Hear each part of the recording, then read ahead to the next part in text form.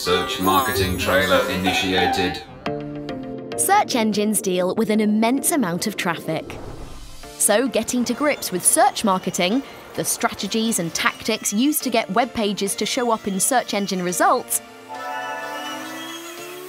is critical to just about every business with an online presence. For this reason, in this lesson, we'll introduce you to the fundamentals of search marketing.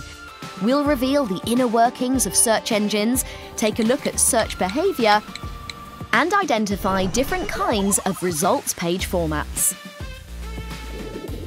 From here, we'll explore how the two branches of search marketing, SEM and SEO, can both be utilised to give your business the visibility it deserves and ultimately bring more and better quality traffic to your site.